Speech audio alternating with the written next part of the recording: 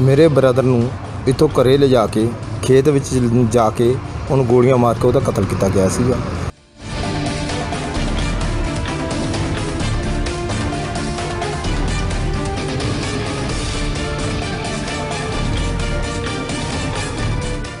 ਇੱਕ ਤੁਸੀਂ ਦੱਸਿਆ ਸੀਗਾ ਕਿ ਐਨਕਾਊਂਟਰ ਕਰਤਾ ਸੀਗਾ ਉੱਥੇ ਯੂਪੀ ਪੁਲਿਸ ਨੇ। ਉਹ ਜਿਹੜੇ ਤੁਹਾਡੇ ਐਫ ਆਈ ਆਰ ਦੇ ਵਿੱਚ ਉਹ ਦੋਸ਼ੀ ਸੀਗੇ ਜਿਨ੍ਹਾਂ ਦਾ ਐਨਕਾਊਂਟਰ ਕੀਤਾ ਜੀ ਹਾਂ ਉਹਦੇ ਵਿੱਚ ਦੋਸ਼ੀ ਸੀਗਾ ਸ਼ਾਹ ਆਲਮ ਜੋ ਕਾਊਂਟਰ ਕਰੇ ਸੀਗੇ। ਹਾਂਜੀ। ਉਹ ਦੋਸ਼ੀ ਸੀਗੇ ਤੇ ਉਹਨਾਂ ਨੇ ਹੀ ષਡਯੰਤਰ ਦੇ ਤਹਿਤ ਮੇਰੇ ਬ੍ਰਦਰ ਦਾ ਖੇਤ ਚ ਲਿਜਾ ਕੇ ਮਰਡਰ ਕਰਤਾ ਸੀ।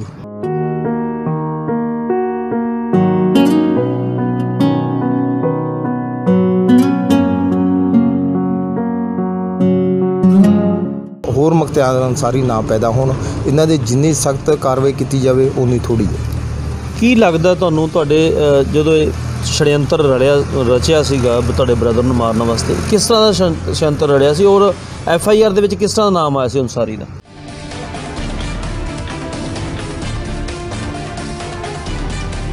ਔਰ ਇਹਨੂੰ ਜਲਦ ਤੋਂ ਜਲਦ ਸਲਾਖਾਂ ਦੇ ਪਿੱਛੇ ਕਰਕੇ ਇਹਦੇ ਜੋ ਦੋਸ਼ੀ ਹੈ ਇਹਦਾ ਜੋ ਰਿਕਾਰਡ ਹੈ ਉਹਦੇ ਮੁਤਾਬਕ ਇਹਨੂੰ ਸਜ਼ਾ ਦਿੱਤੀ ਜਾਵੇ।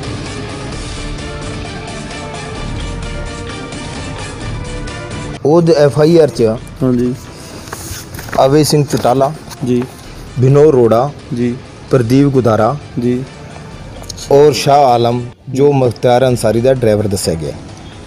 ਉਹਨਾਂ ਦੇ ਬਾਈ ਨੇ ਪਰਚਾ ਦਰਜ ਹੈ। ਐਫ ਆਈ ਆਰ ਨੰਬਰ ਕੀ ਹੈ? 81 ਨੰਬਰ ਐਫ ਆਈ ਆਰ 29/4/2006 ਦੀ ਜੀ।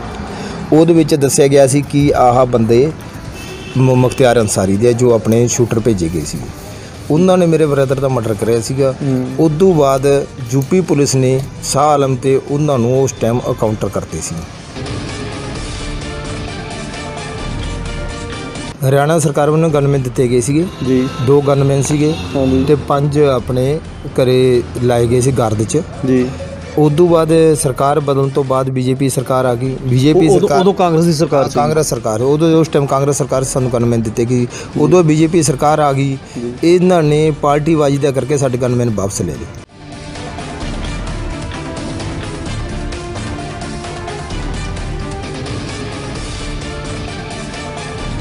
ਇਹ ਹੁਣ ਤੱਕ ਤੁਹਾਨੂੰ ਕੀ ਲੱਗਦਾ ਵੀ ਇਹ ਜਿਹੜਾ ਅਨਸਾਰੀ ਦੇ ਉੱਤੇ ਕਿੰਨੇ ਕੁ ਪਰਚੇ ਦਰਜ ਜਿਹੜੇ ਹੈਗੇ ਉਹ ਹੈਗੇ ਕੁਝ ਹੈ ਤੁਹਾਨੂੰ ਆਈਡੀਆ? 40 ਦੇ ਕਰੀਬ ਪਰਚੇ ਦਰਜ ਹੈ। ਹਾਂਜੀ। ਜਿਹਦੇ ਵਿੱਚੋਂ 30 ਚ ਮੇਰੇ ਖਿਆਲ ਇਹਨਾਂ ਨੂੰ ਸਜ਼ਾ ਹੋ ਚੁੱਕੀ ਹੈ। ਹਾਂ ਤੇ ਹਜੇ 10 15 ਕਿਹੜੇ ਪਰਚੇ ਆ ਉਹ ਪੈਂਡਿੰਗ ਪਿਆ ਅਦਾਲਤ ਵਿੱਚ ਚੱਲ ਰਹੀ ਹੈ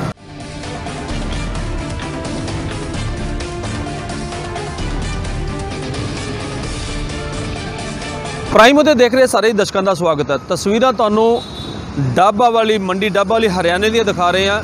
ਕਾਫੀ ਚਰਚਾ ਦੇ ਵਿੱਚ ਖਬਰਾਂ ਆਈਆਂ ਕਿ ਮੁਖਤਾਰ ਅਨਸਾਰੀ ਨੂੰ ਪੰਜਾਬ ਸਰਕਾਰ ਨੇ ਸੁਰੱਖਿਆ ਦਿੱਤੀ ਹੋਈ ਹੈ ਜੇਲ੍ਹ ਦੇ ਵਿੱਚ। ਸੋ ਅਸੀਂ ਇੱਥੇ ਪਹੁੰਚਣ ਦਾ ਮਕਸਦ ਸਾਡਾ ਇਹ ਹੈ ਕਿ ਮੁਖਤਿਆਰ ਅਨਸਾਰੀ ਇਸ ਪਰਿਵਾਰ ਦਾ ਇੱਕ ਜੀ ਦਾ ਕਤਲ ਹੋਇਆ ਸੀਗਾ, ਜਿਸ ਦੇ ਵਿੱਚ ਮੁਖਤਿਆਰ ਅਨਸਾਰੀ ਦਾ ਨਾਮ ਆਇਆ ਸੀ। ਉਹਦੇ ਗੁਰਗਿਆਂ ਦਾ ਨਾਮ ਆਇਆ ਸੀ, ਉਹਦਾ ਨਾਮ ਆਇਆ ਸੀ। ਇਸ ਨੂੰ ਲੈ ਕੇ ਅਸੀਂ ਡੱਬ ਵਾਲੀ ਦੇ ਵਿੱਚ ਪਹੁੰਚੇ ਹਾਂ। ਦੱਸ ਦਈਏ ਕਿ ਇਹ ਮੇਰੇ ਮਗਰ ਜੋ ਘਰ ਹੈ, ਇਸ ਪਰਿਵਾਰ ਦਾ ਇੱਕ ਜੀ ਦਾ ਕਤਲ ਹੋਇਆ ਸੀਗਾ, ਜਿਸ ਦੇ ਵਿੱਚ ਨਾਮ ਮੁਖਤਿਆਰ ਅਨਸਾਰੀ ਦਾ ਆਇਆ ਸੀਗਾ। ਅਸੀਂ ਉੱਥੇ ਪਹੁੰਚੇ ਹਾਂ, ਅਸੀਂ ਉਹਨਾਂ ਨਾਲ ਗੱਲਬਾਤ ਕਰਦੇ ਹਾਂ ਕਿ ਸਾਨੂੰ ਇਹਦੇ ਬਾਰੇ ਉਹ ਕੀ ਜਾਣਕਾਰੀ ਦੇਣਾ ਚਾਹੁੰਦੇ ਆ।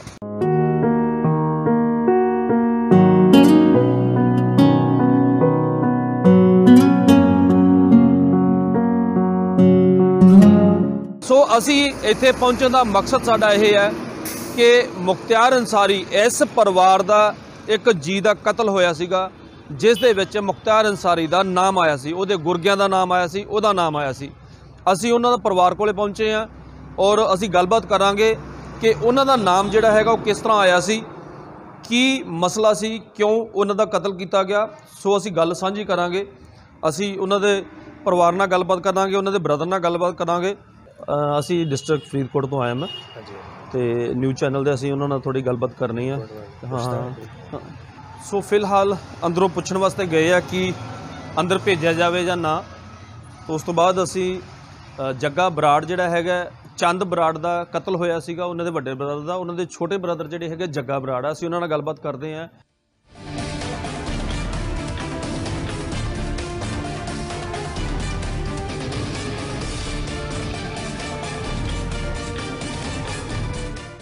ਸੋ ਅਸੀਂ ਜੱਗਾ ਬਰਾੜ ਉਹਨਾਂ ਨਾਲ ਗੱਲਬਾਤ ਕਰਦੇ ਹਾਂ ਕਿ ਸਾਨੂੰ ਕੀ ਜਾਣਕਾਰੀ ਦੇਣਾ ਚਾਹੁੰਦੇ ਆ। ਸਤਿ ਸ਼੍ਰੀ ਅਕਾਲ ਸਰ। ਹੋਰ ਸਰ ਬੈਠੋ ਪਲੀਜ਼ ਬੈਠੋ। ਸੋ ਸਾਡੇ ਨਾਲ ਜੱਗਾ ਬਰਾੜ ਜੁੜੇ ਆ, ਅਸੀਂ ਉਹਨਾਂ ਨਾਲ ਗੱਲਬਾਤ ਕਰਦੇ ਆ ਇਹਨਾਂ ਦੇ ਬ੍ਰਦਰ ਚੰਦ ਬਰਾੜ ਦਾ ਕਤਲ ਹੋਇਆ ਸੀਗਾ। ਸੋ ਉਹਦੇ ਦੋਸ਼ ਜਿਹੜੇ ਹੈਗੇ ਆ ਅਨਸਾਰੀ ਤੇ ਲੱਗੇ ਆ ਇਹਨਾਂ ਵੱਲੋਂ ਲਾਏ ਗਏ ਆ ਔਰ ਐਫ ਆਈ ਆਰ ਵੀ ਦੇ ਵਿੱਚ ਵੀ ਦੱਸਦੇ ਆ ਕਿ ਉਹਨਾਂ ਦਾ ਨਾਮ ਆਇਆ ਸੀਗਾ। ਗੱਲਬਾਤ ਕਰਦੇ ਆ ਜੱਗਾ ਬਰਾੜ ਜੀ ਸਵਾਗਤ ਹੈ ਤੁਹਾਡਾ ਪ੍ਰਾਈਮੋ ਦੇ ਤੇ। ਕੀ ਲੱਗਦਾ ਤੁਹਾਨੂੰ ਸਭ ਤੋਂ ਪਹਿਲਾਂ ਤਾਂ ਇਹੀ ਸਵਾਲ ਕਰਾਂਗੇ ਕਿ ਬੜਾ ਦੁਖਦਾਇਕ ਖਬਰ ਹੈ ਜਿਹੜੀ ਤੁਹਾਡੇ ਬ੍ਰਦਰ ਦਾ ਜਿਹੜਾ ਕਤਲ ਹੋਇਆ ਇੱਕ ਸਿਆਸਤ ਨੂੰ ਲੈ ਕੇ। ਕੀ ਲੱਗਦਾ ਵੀ ਹੁਣ ਪੰਜਾਬ ਸਰਕਾਰ ਜਿਹੜੇ ਹੈਗੇ ਤੁਹਾਡੇ ਦੋਸ਼ੀ ਨੂੰ ਤੇ ਸੰਭਾਲੀ ਬੈਠੀ ਹੈ ਕੀ ਕਹਿਣਾ ਤੁਸੀਂ ਇਹਦੇ ਬਾਰੇ? ਪੰਜਾਬ ਸਰਕਾਰ ਨੂੰ ਪਹਿਲੀ ਗੱਲ ਹੈ ਉਹਨਾਂ ਨੂੰ ਸੁਰੱਖਿਆ ਨਹੀਂ ਦੇਣਾ ਚਾਹੀਦਾ। ਜੀ। ਸਰਕਾਰ ਦੀ ਕੀ ਮਜਬੂਰੀ ਹੈ ਕੀ ਗੱਲ ਹੈ ਅਸਾ ਸਰਕਾਰ ਦੱਸੂਗੀ। ਪਰ ਐਸੇ ਅਪਰਾਧੀ ਦੀ ਕਿਤੇ ਵੀ ਕਿਸੇ ਨੂੰ ਵੀ ਕੋਈ ਸੁਰੱਖਿਆ ਜਾਂ ਨਹੀਂ ਦੇਣੀ ਚਾਹੀਦੀ ਔਰ ਇਹਨੂੰ ਜਲਦ ਜਲਦ ਸਲਾਖਾਂ ਦੇ ਪਿੱਛੇ ਕਰਕੇ ਇਹਦੇ ਜੋ ਦੋਸ਼ੀ ਹੈ ਇਹਦਾ ਜੋ ਰਿਕਾਰਡ ਹੈ ਉਹਦੇ ਮੁਤਾਬਕ ਇਹਨੂੰ ਸਜ਼ਾ ਦਿੱਤੀ ਜਾਵੇ ਤੁਸੀਂ ਅ, ਕਾਂਗਰਸ ਨਾਲ ਬਿਲੋਂਗ ਕਰਦੇ ਹੋ ਤੁਸੀਂ? ਹਾਂ ਸਰ ਅਸੀਂ ਕਾਂਗਰਸ ਦਾ ਮੈਂ ਜੂ ਦਾ ਪ੍ਰੈਜ਼ੀਡੈਂਟ ਹਾਂ। ਹੂੰ। ਔਰ ਜੀ। ਅਸੀਂ ਜੇ ਕਹਿ ਰਹੇ ਕਿ ਸਰਕਾਰ ਇਹਨਾਂ ਨੂੰ ਜਲਦੀ ਜਲਦੀ ਇਹਨੂੰ ਫਾਂਸੀ ਦੀ ਸਜ਼ਾ ਦਿੱਤੀ ਜਾਵੇ ਅੱਗੇ ਤੋਂ ਅਪਰਾਧ ਤੇ ਨਿਕਾਲੇ ਇਸੇ ਬੰਦੇ ਅੱਗੇ ਤੋਂ ਪੈਦਾ ਨਾ ਹੋਰ ਹੋਰ ਮੁਖਤਿਆਰ ਅਨਸਾਰੀ ਨਾ ਪੈਦਾ ਹੋਣ ਇਹਨਾਂ ਦੇ ਜਿੰਨੀ ਸਖਤ ਕਾਰਵਾਈ ਕੀਤੀ ਜਾਵੇ ਉਨੀ ਥੋੜੀ ਹੈ। ਕੀ ਲੱਗਦਾ ਤੁਹਾਨੂੰ ਤੁਹਾਡੇ ਜਦੋਂ ਇਹ ਛੜਯੰਤਰ ਰੜਿਆ ਰਚਿਆ ਸੀਗਾ ਤੁਹਾਡੇ ਬ੍ਰਦਰ ਨੂੰ ਮਾਰਨ ਵਾਸਤੇ ਕਿਸ ਤਰ੍ਹਾਂ ਦਾ ਛਣ- ਛੜਯੰਤਰ ਰੜਿਆ ਸੀ ਔਰ ਐਫ ਆਈ ਆਰ ਦੇ ਵਿੱਚ ਕਿਸ ਤਰ੍ਹਾਂ ਦਾ ਨਾਮ ਆਇਆ ਸੀ ਅਨਸਾਰੀ ਦਾ? ਮਕ- ਆਪਣੇ ਉਸ ਟਾਈਮ ਮੇਰੇ ਬ੍ਰਦਰ ਨੂੰ ਇੱਥੋਂ ਘਰੇ ਲਿਜਾ ਕੇ, ਖੇਤ ਵਿੱਚ ਜਾ ਕੇ ਉਹਨੂੰ ਗੋਲੀਆਂ ਮਾਰ ਕੇ ਉਹਦਾ ਕਤਲ ਕੀਤਾ ਗਿਆ ਸੀਗਾ। ਉਸ ਟਾਈਮ ਹਮਾਰੀ ਕਿਸੇ ਬੰਦੇ ਨਾਲ ਕੋਈ ਦੁਸ਼ਮਣੀ ਨਹੀਂ ਸੀ। ਸਾਡਾ ਇੱਕ ਰਾਜਨੀਤਿਕ ਮੁੱਦੇ, ਰਾਜਨੀਤੀ ਸੀਗੀ। ਰਾਜਨੀਤੀ ਦੇ ષਡਯੰਤਰ ਦੇ ਤਹਿਤ ਮੇਰੇ ਭਰਾ ਦਾ ਮਰਡਰ ਕਰਵਾਇਆ ਗਿਆ ਸੀ। ਕਿਹਦੇ ਵਿੱਚ ਚੁਟਾਲਾ ਪਰਿਵਾਰ ਨੇ ਮੁਖਤਿਆਰ ਅੰਸਾਰੀ ਨਾਲ ਮਿਲ ਕੇ ਇਹਨਾਂ ਦੇ ਆਪਸ 'ਚ ਪਰਿਵਾਰਿਕ ਸੰਬੰਧ ਸੀ। ਉਹਨਾਂ ਨੇ ਮਿਲ ਕੇ ਜੋ ਮੁਖਤਿਆਰ ਅੰਸਾਰੀ ਦਾ ਡਰਾਈਵਰ ਸੀ, ਸ਼ਾਹ ਆਲਮ ਉਸ ਨੇ ਤੇ ਉਹਦੇ ਗੁਰਗਿਆਂ ਨੇ ਮੇਰੇ ਬ੍ਰਦਰ ਦਾ ਮਰਡਰ ਕੀਤਾ ਗਿਆ ਸੀਗਾ। ਉਸ ਟਾਈਮ ਪੁਲਿਸ ਫਾਈਲ ਦੇ ਵਿੱਚ ਆ ਗੱਲ ਆਈ ਸੀਗੀ ਕਿ ਜੋ ਜੇ ਹੇਰ ਕਰੇ ਹੋਇਆ ਉਹ ਬੰਦੇ ਮੁਖਤਿਆਰ ਅਨਸਾਰੀ ਦੇ ਸਨ। ਇਸ ਕਰਕੇ ਅਸੀਂ ਆਈ ਕਹਿੰਦੇ ਕਿ ਇਹਨਾਂ ਨੂੰ ਦੋਸ਼ੀਆਂ ਨੂੰ ਸਖਤ ਸਖਤ ਸਜ਼ਾ ਦਿੱਤੀ ਜਾਵੇ ਤੇ ਅੱਗੇ ਤੋਂ ਕੋਈ ਮੁਖਤਿਆਰ ਅਨਸਾਰੀ ਬਣਨ ਦੀ ਜੋਖਿਮ ਨਾ ਚੱਕ ਸਕੇ। ਅਸੀਂ ਤੁਹਾਡੇ ਅੰਦਰ ਜਦੋਂ ਐਂਟਰ ਹੋਏ ਆ ਤੁਹਾਡੇ ਗਨਮੈਨ ਨੇ ਸਾਡੇ ਤਲਾਸ਼ੀ ਲਈ ਆ ਕੀ ਲੱਗਦਾ ਤੁਹਾਨੂੰ ਹੁਣ ਤੁਹਾਨੂੰ ਪੱਤਰਕਾਰਾਂ ਤੋਂ ਵੀ ਭਰੋਸਾ ਨਹੀਂ ਰਿਹਾਗਾ ਐਸਾ ਨਹੀਂ ਜੀ ਹੁਣ ਕੀ ਪਤਾ ਜੀ ਕਿ ਇਹਦੇ ਪੇਚ 'ਚ ਕੌਣ ਆ ਜੇ ਕੌਣ ਨਾ ਆ ਜੇ। ਜੀ। ਕਿਦੋਂ ਪਹਿਲਾਂ ਮੇਰੇ ਤੇ ਦੋ ਤਿੰਨ ਵਾਰ ਪਹਿਲਾਂ ਵੀ ਮੇਰੇ ਤੇ ਹਮਲੇ ਹੋ ਚੁੱਕੇ ਨੇ ਪਹਿਲਾਂ ਮੈਂ ਤਰੀਕ ਤੇ ਜਾ ਰਿਹਾ ਸੀ ਬ੍ਰਦਰ ਦੀ। ਉਸ ਟਾਈਮ ਮੇਰੇ ਤੇ ਹਮਲਾ ਹੋ ਗਿਆ ਸੀ ਮੈਂ ਗਵਾਹੀ ਵਾਸਤੇ ਜਾ ਰਿਹਾ ਸੀਗਾ। ਤੇ ਦੋ ਤਿੰਨ ਵਾਰੀ ਹੋਰ ਹੋ ਗਏ ਸੀ ਮੇਰੇ ਘਰ ਤੇ ਵੀ ਹਮਲੇ ਹੋ ਗਏ ਸੀਗੇ। ਇਸ ਕਰਕੇ ਹੀ ਜੇ ਮੇਰੇ ਆਪਣੇ ਸੁਰੱਖਿਆ ਵਾਸਤੇ ਰੱਖੇ ਗਏ ਆ ਤੁਹਾਨੂੰ ਲੱਗਦਾ ਵੀ ਫਿਰ ਤੁਹਾਨੂੰ ਜੇ ਤੁਸੀਂ ਕਾਂਗਰਸ ਨੂੰ ਬਿਲੋਂਗ ਕਰਦੇ ਹੋ ਫਿਰ ਤੁਹਾਨੂੰ ਇਹਦਾ ਉਹਦੇ ਭਰਾ ਦਾ ਜਿਹੜਾ ਇੱਕ ਤੁਹਾਡਾ ਭਰਾ ਤੁਹਾਡੇ ਤੋਂ ਵਿਛੜ ਗਿਆ, ਤੁਹਾਨੂੰ ਇਹ ਖਮਿਆਜ਼ਾ ਭਰਨਾ ਪਿਆ ਕਾਂਗਰਸ ਦੇ ਵਿੱਚ ਰਲਣ 'ਚ? ਉਹ ਤਾਂ ਸਾਨੂੰ ਹੈਗੇ ਹੀ ਹੈ। ਖਾਮਿਆਜ਼ਾ ਤਾਂ ਭੁਗਤਦੇ ਨੇ, ਪਰ ਅੱਜ 15 ਸਾਲ ਹੋ ਗਏ ਸਾਨੂੰ ਕੋਈ ਇਨਸਾਫ ਨਹੀਂ ਮਿਲਿਆ। ਅਸੀਂ ਬਾਰ-ਬਾਰ ਇਨਸਾਫ ਵਾਸਤੇ ਕੋਰਟ 'ਚ ਵੀ ਗਏ ਹਾਈ ਕੋਰਟ ਵੀ ਗਏ, ਸੁਪਰੀਮ ਕੋਰਟ ਵੀ ਗਏ, ਹਰ ਥਾਂ ਇਨਸਾਫ ਵਾਸਤੇ ਅਸੀਂ ਦਰ-ਦਰ ਦੀਆਂ ਠੋਕਰਾਂ ਖਾਧੀਆਂ, ਪਰ ਅਜੇ ਤੱਕ ਸਾਨੂੰ ਕੋਈ ਇਨਸਾਫ ਨਹੀਂ ਮਿਲਿਆ। ਅਸੀਂ ਤੁਹਾਡੇ ਚੈਨਲ ਦੇ ਮਾਧਿਅਮ ਨਾਲ ਕਹਿੰਦੇ ਕਿ ਸਾਨੂੰ ਇਨਸਾਫ ਦਿੱਤਾ ਜਾਵੇ ਤੇ ਸਾਡੀ ਦੁਬਾਰਾ ਜਾਂਚ ਕਰਵਾਈ ਜਾਵੇ ਇਸ ਕੇਸ ਦੀ। ਤੇ ਉਹਦੇ ਵਿੱਚ ਸਾਰਾ ਕੁਝ ਸਾਹਮਣੇ ਆ ਜੂ ਦੁੱਧ ਦਾ ਦੁੱਧ ਪਾਣੀ ਦਾ ਪਾਣੀ। ਜਿਹੜੇ ਤੁਸੀਂ ਸ਼ਬਦ ਬੋਲ ਰਹੇ ਹੋ ਕਿ ਅਨਸਾਰੀ ਦਾ ਸਾਡਾ ਕੇਸ ਦੇ ਨਾਲ ਬ੍ਰਦਰ ਦੇ ਨਾਲ ਇਹ ਜੁੜਦਾ ਹੈ ਤੁਹਾਡੇ ਜੇ ਇਹ ਤੁਸੀਂ ਜੇ ਕੋਈ ਐਫ ਆਈ ਆਰ ਦਰਜ ਕਰਵਾਈ ਸੀ ਉਹਦੇ ਚ ਨਾਮ ਹੈਗਾ ਉਹਨਾਂ ਦਾ? ਅਸੀਂ ਐਫ ਆਈ ਆਰ ਦਰਜ ਕਰਾਈ ਸੀਗੀ। ਹੈ ਤੁਹਾਡੇ ਕੋਲ ਹੁਣ ਐਫ ਆਈ ਆ ਐਫ ਆਈ ਆਰ ਸਾਡੇ ਕੋਲ ਮੌਕੇ ਦੀ ਹੈਗੀ ਹੈ। ਹਾਂਜੀ। ਉਹ ਐਫ ਆਈ ਆਰ ਚ ਹਾਂਜੀ। ਅਵੇ ਸਿੰਘ ਚਟਾਲਾ ਜੀ। ਬਿਨੋ ਰੋੜਾ ਜੀ। ਪ੍ਰਦੀਪ ਗੁਦਾਰਾ ਜੀ। ਔਰ ਸ਼ਾਹ ਆਲਮ ਜੋ ਮੁਖਤਿਆਰ ਅਨਸਾਰੀ ਦਾ ਡਰਾਈਵਰ ਦੱਸਿਆ ਗਿਆ। ਉਹਨਾਂ ਦੇ ਬਾਈ ਨੇ ਪਰਚਾ ਦਰਜ ਹੈ। ਐਫ ਆਈ ਆਰ ਨੰਬਰ ਕੀ ਹੈ? 81 ਨੰਬਰ ਐਫ ਆਈ ਆਰ 29/4/2006 ਦੀ ਜੀ। ਉਹਦੇ ਵਿੱਚ ਦੱਸਿਆ ਗਿਆ ਸੀ ਕਿ ਆਹ ਬੰਦੇ ਮੁਖਤਿਆਰ ਅਨਸਾਰੀ ਦੇ ਜੋ ਆਪਣੇ ਸ਼ੂਟਰ ਭੇਜੇ ਗਏ ਸੀ। ਉਹਨਾਂ ਨੇ ਮੇਰੇ ਬ੍ਰਦਰ ਦਾ ਮਰਡਰ ਕਰਿਆ ਸੀਗਾ। ਉਦੋਂ ਬਾਅਦ ਯੂਪੀ ਪੁਲਿਸ ਨੇ ਸ਼ਾਹ ਆਲਮ ਤੇ ਉਹਨਾਂ ਨੂੰ ਉਸ ਟਾਈਮ ਅਕਾਊਂਟਰ ਕਰਤੇ ਸੀ। ਇਹ ਕੁਝ ਅਖਬਾਰ ਦੀਆਂ ਕਟਿੰਗਾਂ ਵੀ ਤੁਹਾਡੇ ਕੋਲ ਪਈਆਂ ਉਹਦੇ ਚ ਕੀ ਲਿਖਿਆ ਗਿਆ ਸੀ ਉਹਦਾ? ਅਖਬਾਰ ਦੀਆਂ ਕਟੀਆਂ 'ਚ ਆ ਚੀਜ਼ ਉਸ ਟਾਈਮ ਦੇ ਐਸਪੀ ਸਨ ਸੁਲਤਾਨ ਸਿੰਘ ਜੀ। ਹਾਂਜੀ। ਸੁਲਤਾਨ ਸਿੰਘ ਜੀ ਨੇ ਉਦੋਂ ਕਿਹਾ ਸੀਗਾ ਕਿ ਇਹਨਾਂ ਦੇ ਤਾਰ ਮੁਖਤਿਆਰ ਅਨਸਾਰੀ ਨਾਲ ਜੁੜੇ ਹੋਏ ਆ ਤੇ ਮੁਖਤਿਆਰ ਅਨਸਾਰੀ ਦੇ ਕਹਿਣ ਤੇ ਹੀ ਤੇਰੇ ਬ੍ਰਦਰ ਦਾ ਮਰਡਰ ਕਰਿਆ ਗਿਆ ਜੋ ਪੁਲਿਸ ਫਾਈਲ ਦੀ ਰਿਪੋਰਟ ਦੇ ਮੁਤਾਬਕ। ਹੈ। ਐਡਾ ਵੱਡਾ ਅਧਿਕਾਰੀ ਨੇ ਬਿਆਨ ਦਿੱਤਾ ਤੇ ਫਿਰ ਵੀ ਹਜੇ ਤੱਕ 15 ਸਾਲ ਹੋ ਗਏ ਕਾਰਵਾਈ ਨਹੀਂ ਹੋਈ। ਕੋਈ ਕਾਰਵਾਈ ਕੁਛ ਨਹੀਂ ਹੋਈ। ਕੁਛ ਨਹੀਂ ਕਰੀ ਉਹ ਮਾਰੇ ਗਏ ਕਹਿੰਦੇ ਜੀ ਹੋ ਗਏ ਉਸ ਤੋਂ ਬਾਅਦ ਹਾਂ ਆਪਣੇ ਸੈਸ਼ਨ ਕੋਰਟ ਚ ਕਿਹੜੇ ષਡਯੰਤਰ ਕਰਤਾ ਸੀ ਅਵੇ ਸਿੰਘ ਤੇ ਉਹ ਸਾਰੇ ਉਹਨਾਂ ਨੂੰ ਬਰੀ ਕਰਤੇ। ਦੀ ਦਹਿਸ਼ਤ ਹੀ ਇੰਨੀ ਸੀ ਤੇ ਦਹਿਸ਼ਤ ਹੀ ਇੰਨੀ ਸੀ। ਪੁਲਿਸ ਜਾਂਚ ਤੱਕ ਗਈ ਨਹੀਂ। ਉਹ ਸਹੀ ਜਾਂਚ ਹੀ ਨਹੀਂ ਹੋਈ। ਜੇ ਮੁਖਤਿਆਰ ਅਨਸਾਰੀ ਤੋਂ ਕੋਈ ਪੁੱਛਗਿੱਛ ਕਰਦੀ ਜਾਂ ਹੋਰ ਕਰਦੀ, ਸਾਰੇ ਅਪਰਾਧੀ ਸੀ ਜੇ ਉਹ ਅਵੇ ਸਿੰਘ ਸੀ ਜਾਂ ਪ੍ਰਦੀਪ ਸੀ ਬਨੋਰ ਰੋੜਾ ਸੀ ਜਿਨ੍ਹਾਂ ਜਿਨ੍ਹਾਂ ਨੇ ਉਹਨਾਂ ਨੂੰ ਘਰੇ ਰਹਿਣ ਵਾਸਤੇ ਜਗ੍ਹਾ ਦਿੱਤੀ ਜਾਂ ਉਹਨਾਂ ਨੂੰ ਹਾਇਰ ਕਰੇ ਪੈਸੇ ਦਿੱਤੇ, ਉਹਨਾਂ ਨੂੰ ਸਾਰਿਆਂ ਨੂੰ ਸਜ਼ਾ ਹੋ ਸਕਦੀ ਸੀ। ਪੁਲਿਸ ਨੇ ਉਹ ਪੂਰੀ ਜਾਂਚ ਕਰੀ ਨਹੀਂ ਅੱਗੇ ਡਰਦੀ ਮਾਰੀ ਪੁਲਿਸ ਗਈ ਨਹੀਂ। ਤੁਸੀਂ ਕੌਣ ਹੋ? ਪਰਸਨਲ ਗਨਮੈਨ ਹੋ ਇਹਨਾਂ ਦੇ? ਨਹੀਂ ਮੈਂ ਇਹਨਾਂ ਦੇ ਰਿਸ਼ਤੇਦਾਰ ਹਾਂ ਮੈਂ ਸਾਲੀ ਦਾ ਲੜਕਾ ਇਹਨਾਂ ਦੇ। ਜੀ ਜੀ ਜੀ। ਮਾਸੜ ਜੀ ਆ ਮੇਰੇ। Okay okay. ਉਦੋਂ ਤੋਂ ਹੀ ਅ, ਡਰ ਬਣਿਆ ਹੋਇਆ ਜੀ। ਆਪਦੇ ਨਾਲ ਥੋੜਾ ਜਿਹਾ ਜੀ ਬੈਟਰ ਫੀਲ ਕਰਦੇ ਆ। ਬਿਲਕੁਲ। ਨਹੀਂ ਤੁਹਾਨੂੰ ਜਦੋਂ ਇਹ ਵਾਕਿਆ ਹੋਇਆ ਉਦੋਂ ਬਾਅਦ ਫਿਰ ਤੁਹਾਨੂੰ ਹਰਿਆਣਾ ਸਰਕਾਰ ਨੇ ਕੋਈ ਗਨਮੈਨ ਨਹੀਂ ਦਿੱਤੇ? ਹਰਿਆਣਾ ਸਰਕਾਰ ਵੱਲੋਂ ਗਨਮੈਨ ਦਿੱਤੇ ਗਏ ਸੀਗੇ। ਜੀ। ਦੋ ਗਨਮੈਨ ਸੀਗੇ ਹਾਂਜੀ। ਤੇ ਪੰਜ ਆਪਣੇ ਘਰੇ ਲਾਏ ਗਏ ਸੀ ਗਰਦ ਚ। ਜੀ। ਉਦੋਂ ਬਾਅਦ ਸਰਕਾਰ ਬਦਲਣ ਤੋਂ ਬਾਅਦ ਬੀਜੇਪੀ ਸਰਕਾਰ ਆ ਗਈ। ਬੀਜੇਪੀ ਉਦੋਂ ਸਰਕਾਰ ਉਦੋਂ ਕਾਂਗਰਸ ਦੀ ਸਰਕਾਰ ਸੀ। ਕਾਂਗਰਸ ਸਰਕਾਰ। ਉਦੋਂ ਉਸ ਟਾਈਮ ਕਾਂਗਰਸ ਸਰਕਾਰ ਸਾਨੂੰ ਗਨਮੈਨ ਦਿੱਤੇ ਗਈ ਉਦੋਂ ਬੀਜੇਪੀ ਸਰਕਾਰ ਆ ਗਈ। ਇਹਨਾਂ ਨੇ ਪਾਰਟੀ ਵਾਜੀ ਦਾ ਕਰਕੇ ਸਾਡੇ ਗਨਮੈਨ ਵਾਪਸ ਲੈ ਲਏ। ਅੱਛਾ ਜੀ। ਉਸ ਤੋਂ ਬਾਅਦ ਵੀ ਜੋ ਮੇਰੇ ਲਾਇਸੈਂਸ ਸੀਗੇ ਆਰਮ ਲਾਇਸੈਂਸ ਉਹ ਵੀ ਪਰਸਨਲ ਲਾਇਸੈਂਸ ਪਰਸਨਲ ਲਾਇਸੈਂਸ ਸੀ ਉਹ ਵੀ ਕੈਨਸਲ ਕਰ ਗਈ। ਸਾਨੂੰ ਇਹ ਸਰਕਾਰ ਤੇ ਕੋਈ ਭਰੋਸਾ ਅਸੀਂ ਤਾਂ ਆਹੀ ਕਰਦੇ ਹਾਂ ਕਿ ਸੈਂਟਰ ਗਵਰਨਮੈਂਟ ਬੰਨਿਓ ਸਾਨੂੰ ਕੋਈ ਸੁਰੱਖਿਆ ਦਿੱਤੀ ਜਾਵੇ।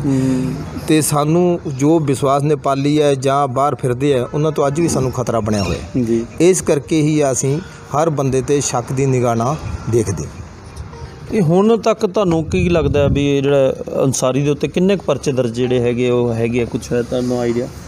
40 ਦੇ ਕਰੀਬ ਪਰਚੇ ਦਰਜ ਹੈ। ਹਾਂਜੀ। ਜਿਹਦੇ ਵਿੱਚੋਂ 30 ਚ ਮੇਰੇ ਖਿਆਲ ਇਹਨਾਂ ਨੂੰ ਸਜ਼ਾ ਹੋ ਚੁੱਕੀ ਹੈ। ਹਾਂ ਹਾਂ ਤੇ ਹਜੇ 10 15 ਕਿਹੜੇ ਪਰਚੇ ਆ ਉਹ ਪੈਂਡਿੰਗ ਪਿਆ ਅਦਾਲਤ ਵਿੱਚ ਚੱਲ ਰਹੀ ਹੈ।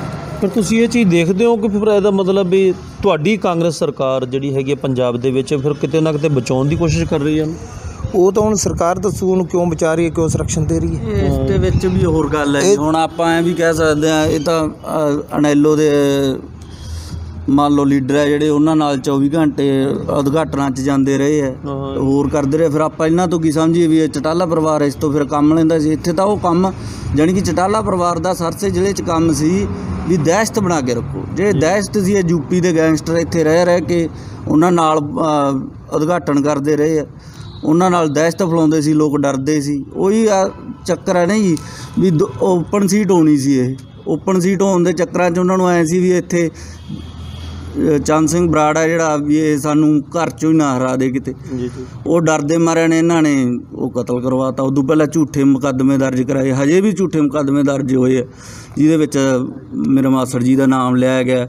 ਵੀ ਇਹਨਾਂ ਨੇ ਸਾਡੇ ਕਤਲ ਕਰਾਏ ਆ। ਉਹਦੀ ਸੀਬੀਆਈ ਜਾਂਚ ਹੋਈ ਤਾਂ ਦੁੱਧ ਦਾ ਦੁੱਧ ਪਾਣੀ ਦਾ ਪਾਣੀ ਹੋ ਗਿਆ। ਸਾਹਮਣੇ ਆ ਸਾਰੇ ਉਹ ਬੰਦੇ ਜਿਨ੍ਹਾਂ ਨੇ ਕਤਲ ਕਰਾਏ ਸੀ ਉਹ ਜੇਲ੍ਹਾਂ 'ਚ ਆ ਹੁਣ। ਸੀਬੀਆਈ ਜਾਂਚ ਹੋਈ। ਪਰ ਰੋਪ ਨਾਲ ਲਾਉਣ ਨਾਲ ਕੋਈ ਆਰੋਪੀ ਨਹੀਂ ਬਣ ਜਾਂਦਾ, ਪਰ ਉਹਦੀ ਜਾਂਚ ਹੁੰਦੀ ਹੈ ਅੱਗੇ, ਤਾਂ ਹੀ ਇਹ ਅੱਗੇ ਜੇ ਇਹਨੂੰ ਕਰਿਆ ਹੁੰਦਾ ਐਸਪੀ ਨੇ ਉਦੋਂ ਬਿਆਨ ਦਿੱਤੇ ਸੀ ਵੀ ਪਛਾਣ ਆਲਮ ਜ- ਨੂੰ ਜਿਹੜਾ ਸੀਗਾ, ਉਹ ਡਰਾਈਵਰ ਸੀਗਾ ਮੁਖਤਿਆਰ ਅਨਸਾਰੀ ਦਾ, ਉਹਨੂੰ ਇੱਥੇ ਲਿਆਉਂਦੇ, ਮੁਖਤਿਆਰ ਅਨਸਾਰੀ ਤੋਂ ਪੁੱਛਗਿੱਛ ਕਰਦੇ, ਤਾਂ ਸਾਰਾ ਸੋਲਵ ਹੋ ਗਿਆ ਸੀ ਕੇਸ, ਸਾਰਾ ਉਹ ਨਾਂ ਲੈਂਦਾ ਅੱਗੇ ਵੀ ਭਾਈ ਮੈਨੂੰ ਇਹਨਾਂ ਨੇ ਦੱਸ, ਕਿਹਾ ਸੀ, ਮੈਂ ਇਹਨਾਂ ਦੇ ਨਾਲ ਰਹਿੰਦਾ ਸੀ, ਉਦੋਂ ਤੋਂ ਮੈਂ ਦੇ, ਉਹ ਕਰ ਰਿਹਾ ਸੀ, ਇਹ ਸਾਰਾ ਪ੍ਰਚੰਡ ਰਚਿਆ ਸੀ, ਬਹੁਤ ਤਕੜਾ।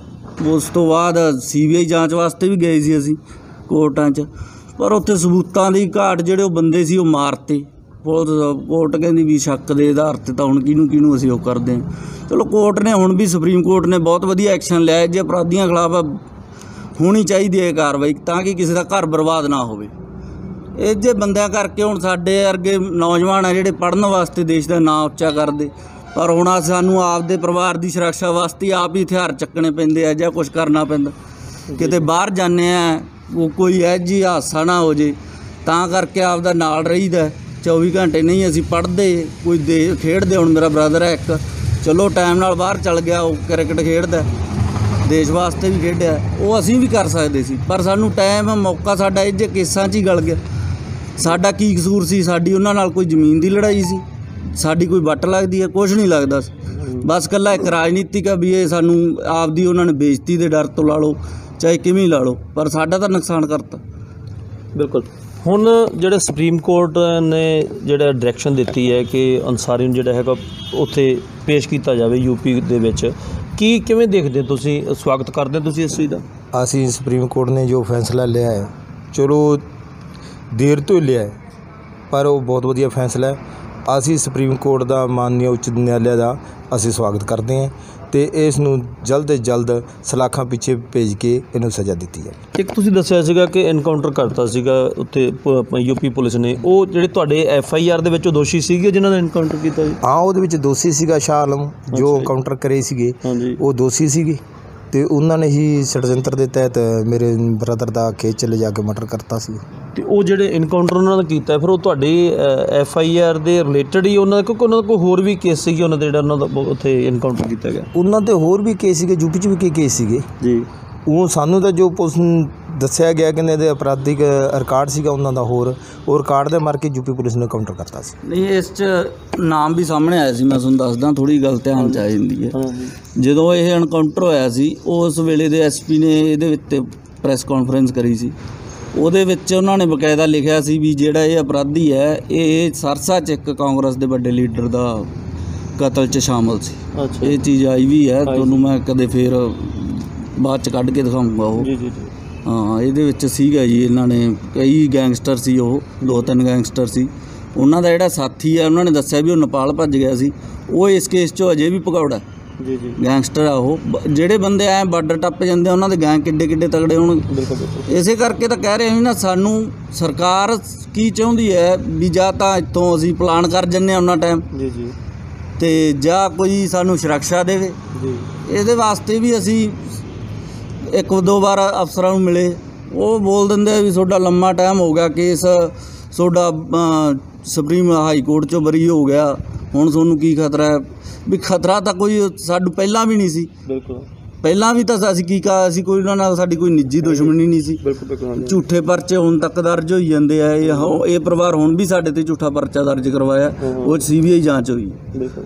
ਉਦੋਂ ਬਾਅਦ ਕੋਈ ਦੋ ਹੋਰ ਕੋਈ ਕਤਲ ਹੋਏ ਆ ਇੱਥੇ ਚਟਾਲੇ ਪਿੰਡ 'ਚ ਕਰਵਾਉਂਦੇ ਇਹ ਆਪ ਹੀ ਹੈ। ਜਿਹੜਾ ਡਬਲ ਮਰਡਰ ਹੋਇਆ ਹੈ ਉਹ ਛੋਟੂ ਭਾਠ ਨਾਂ ਦਾ ਇੱਕ ਗੈਂਗਸਟਰ ਹੈ। ਉਹ ਅਵੇ ਸਿੰਘ ਦਾ ਪੂਰਾ ਖਾਸ ਹੈ। ਉਹਨਾਂ ਨਾਲ ਰਹਿੰਦਾ 24 ਘੰਟੇ ਇਲੈਕਸ਼ਨ 'ਚ ਜਾਂ ਹੋਰ ਕਿਤੇ ਸਭ ਕਿਤੇ ਕਰਵਾਉਂਦੇ ਆ ਉਹ। ਤੇ ਬਸ ਇਹੀ ਹੈ ਵੀ ਇਹ ਜੇ ਲੋਕ ਹੀ ਸਾਥ ਦਿੰਦੇ ਔਰ ਪੰਜਾਬ ਸਰਕਾਰ ਨੇ ਤਾਂ ਇਹਨਾਂ ਤੋਂ ਮਤਲਬ ਵੀ ਨਹੀਂ ਕੋਈ ਇਹਨਾਂ ਦਾ ਕੋਈ ਉਹਨਾਂ ਦਾ ਕੋਈ ਪ੍ਰਸ਼ਾਸਨਿਕ ਰੌਲਾ ਹੋਊਗਾ।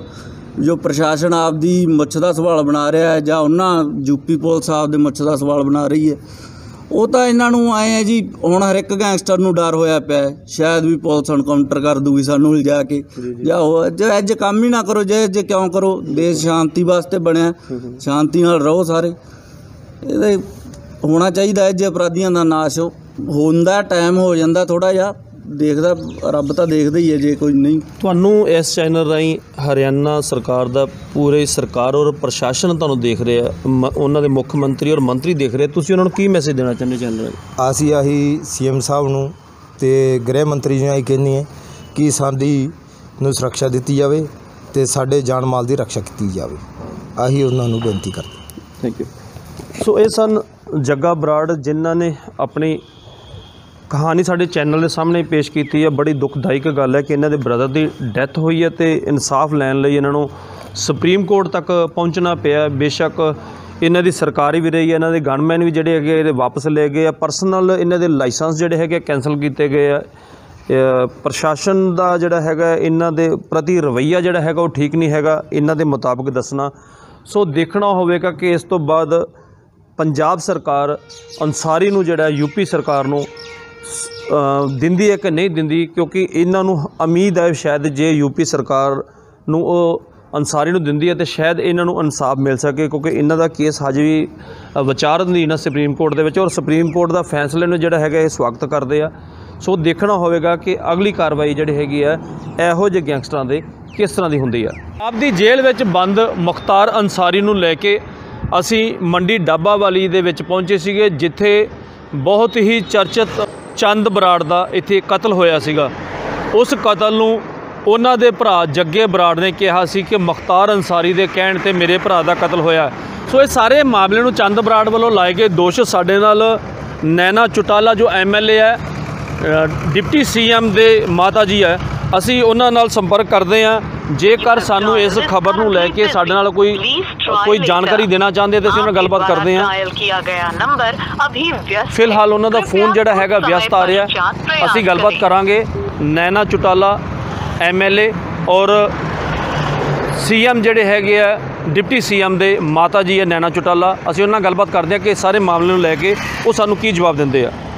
ਫਿਲਹਾਲ ਫੋਨ ਉਹਨਾਂ ਦਾ ਜਿਹੜਾ ਹੈਗਾ ਬਿਜ਼ੀ ਆ ਰਿਹਾ। ਅਸੀਂ ਦੁਬਾਰਾ ਟਰਾਈ ਕਰਦੇ ਹਾਂ ਕਿ ਸਾਨੂੰ ਕੀ ਜਾਣਕਾਰੀ ਦਿੰਦੇ ਆ।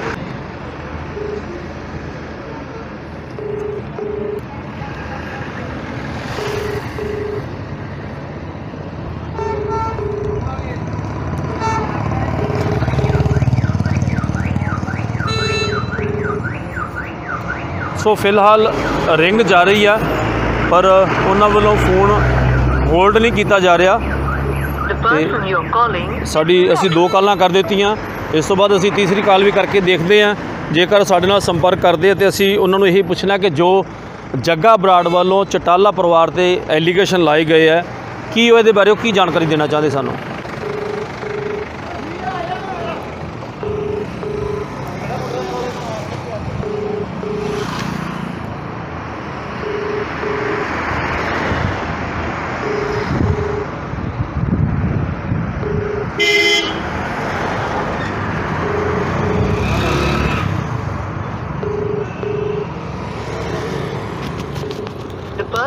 ਕਾਲਿੰਗ ਇਸ ਸੋ ਫਿਲਹਾਲ ਸਾਡੇ ਬਾਰ-ਬਾਰ ਫੋਨ ਲਾਉਣ ਤੇ ਸਾਡਾ ਉਹਨਾਂ ਨੂੰ ਆਪ ਜਿਸ ਵਿਅਕਤੀ ਕੋ ਕਾਲ ਕਰ ਰਹੇ ਹੈ ਉਹ ਉੱਤਰ ਨਹੀਂ ਦੇ ਰਿਹਾ ਸੋ ਅਸੀਂ ਨੈਨਾ ਚੋਟਾਲਾ ਨਾਲ ਉਹਨਾਂ ਦੇ ਫੋਨ ਤੇ ਸੰਪਰਕ ਕੀਤਾ ਫਿਲਹਾਲ ਸਾਡਾ ਫੋਨ ਜਿਹੜਾ ਹੈਗਾ ਉਹਨਾਂ ਨਾਲ ਵੱਲੋਂ ਪਿਕ ਨਹੀਂ ਕੀਤਾ ਗਿਆ ਦੁਬਾਰਾ ਫਿਰ ਅਸੀਂ ਇਹੀ ਕਹਿਣਾ ਚਾਹੁੰਦੇ ਹਾਂ ਕਿ ਪ੍ਰਾਈਮ ਉਦੇ ਸਾਡਾ ਚੈਨਲ ਪ੍ਰਾਈਮ ਉਦੇ ਇਸ ਗੱਲ ਦੀ ਕੋਈ ਵੀ ਪੁਸ਼ਟੀ ਨਹੀਂ ਕਰਦਾ ਜੋ ਕਿ ਜੱਗਾ ਬਰਾੜ ਵੱਲੋਂ ਦੋਸ਼ ਲਾਏ ਗਏ ਹੈ ਕਿ ਉਹ ਵਾਕਈ ਸੱਚੇ ਹੈ ਇਹ ਪ੍ਰਾਈਮ ਉਦੇ ਇਸ ਦੀ ਪੁਸ਼ਟੀ ਨਹੀਂ ਕਰਦਾ। ਜਦੋਂ ਸਾਡੇ ਪੱਤਰਕਾਰ ਵੱਲੋਂ ਚੋਟਾਲਾ ਪਰਿਵਾਰ ਨਾਲ ਲੱਗ ਰਹੇ ਐਲੀਗੇਸ਼ਨਾਂ ਸੰਬੰਧੀ ਜਾਣਕਾਰੀ ਲੈਣੀ ਚਾਹੀ ਤਾਂ ਉਹਨਾਂ ਨਾਲ ਸੰਪਰਕ ਨਹੀਂ ਹੋ ਸਕਿਆ। ਪਰੰਤੂ ਜਦ ਉਹਨਾਂ ਦੇ ਪੀਏ ਨਾਲ ਗੱਲਬਾਤ ਹੋਈ ਤਾਂ ਉਹਨਾਂ ਦਾ ਕੀ ਕਹਿਣਾ ਰਿਹਾ ਆਓ ਤੁਸੀਂ ਵੀ ਸੁਣੋ। ਹੈਲੋ। ਨਮਸਕਾਰ ਸਰ। ਰਾਮ ਰਾਮ। ਹਾਂਜੀ ਸਰ ਮੈਂ ਸੁਨੀਲ ਜੰਦਲ ਗੱਲ ਕਰ ਰਹੀ। ਐਕਚੁਅਲੀ ਤੁਹਾਡੇ ਐਕਚੁਅਲੀ ਤੁਹਾਡੇ ਕੋਲ ਮੈਂ ਟਾਈਮ ਲਿਆ ਸੀ ਮੈਂ ਉੱਥੇ ਪਹੁੰਚ ਨਹੀਂ ਪਾਇਆਗਾ ਤੁਸੀਂ ਫਾਰਮ ਹਾਊਸ ਮੈਨੂੰ ਬੁਲਾਇਆ ਸੀਗਾ ਜੀ। ਤੇ ਮੈਂ। ਨੈਨਾ ਚੁਟਾਲਾ ਜੀ ਨਾਲ ਗੱਲ ਕਰਨਾ ਚਾਹਨਾ ਜੀ। ਗੱਲ ਕਰਵਾ ਸਕਦੇ ਤੁਸੀਂ? भाई देखेंगे मौका मिला ज़रूर करवा देंगे। सर कोई ये ऐसे हम्म? सर किसी खबर के संबंध में मैंने बात करनी थी उनसे कोई? आप एक नंबर पे कॉल करो चौरानवे तिरानवे वो आपको खबर ही बता देगा सारी। सर मैंने एक्चुअली उनसे बाइट ही करनी है फ़ोन पे ही उनसे बाइट कर लेनी मैंने। कुछ किसी की तरफ़ से एलिगेशन है कुछ उसी के रिलेटेड मैंने बात करनी है। क्या एलिगेशन है सर? सर जो मुख्तार अंसारी है वो पंजाब जेल में जो बंद हैं तो उस कौन है? मुख्तार अंसारी। मुख्तार मैडम से क्या पूछोगे उनके बारे में? सर उसमें जो जग्गा बराड़ है डाबा वाली में हम्म, एक्चुअली उन उनसे हमने संपर्क किया था कि उनके भाई का जो कत्ल हुआ था उसको लेकर वो बोल रहे थे कि मुख्तार अंसारी का ड्राइवर और कुछ गुर्गे उनकी तरफ़ से जो कत्ल हुआ था ये। तो उसकी संबंध में मैं, मैंने कुछ बात करनी है मैम से ही। नहीं मैडम का इससे कोई लेना देना नहीं है किसी मामले सर, सर उसमें वो जग्गा बराड़ा जो वो एलिगेशन लगा रहे हैं ना कि ऐसे कि वो जो चटाला परिवार के उनके साथ कोई लिंक थे या कैसे थे जो वो, वो तो वही पुष्टि करेंगे ना सर? तो मैडम को क्या पता भाई साहब से बात करो या दुष्यंत जी से बात करो। सर उनका नंबर दे दे मुझे प्लीज़। चौरानवे छह ये किन का नंबर है? ये पिए हैं भाई साहब के। भाई साहब का नाम सर? ਜੈ ਪ੍ਰਕਾਸ਼ ਜੈ ਪ੍ਰਕਾਸ਼ ਠੀਕ ਹੈ ਸਰ। ਮੈਂ ਸੁਨੀਲ ਜੰਦਲ ਪ੍ਰਾਈਮ ਉਹਦੇ, ਮਨੀ ਡਾਬਾ ਵਾਲੀ, ਹਰਿਆਣਾ।